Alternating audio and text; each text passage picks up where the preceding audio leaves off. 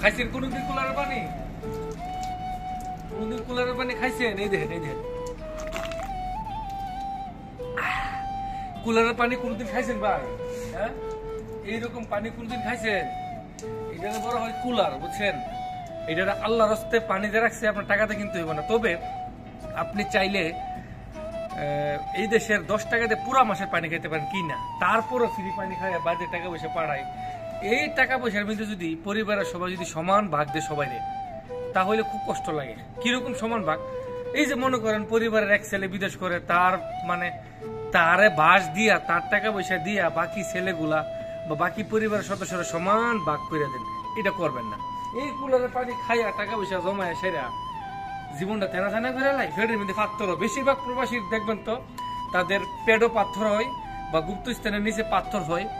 এই পানি খাওয়ার কারণে।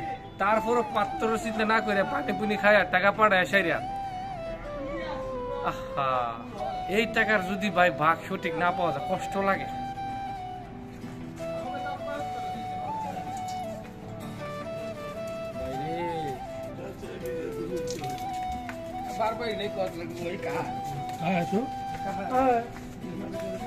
খাইছেন কোনদিন পানি এটা যারা বিদেশ থাকেন নিরানব্বই পার্সেন্ট লোক এটার পানি খান ওইটা এক পার্সেন্ট লোকে খানা নিরানব্বই পার্সেন্ট লোকে পানি খাইছে এই কুলারের পানি। হাই রে কুলার। রে আহা। এই কুলারের পানি খায়া বাড়িতে টাকা দিলে টাকা থাকে না। টাকা নিয়ে দুর্নীতিও। দুঃখে ভাই, দুঃখে, সুখে তো পানি না। আমরা তো পুরুষ মানুষ, আমরা চোখে কি পানি আইব আমরা চোখে পানি না। ভিতরের মধ্যে আগুন জ্বলে। ভালো থাকেন ভাই, আর কিছু কোয়ার নেই।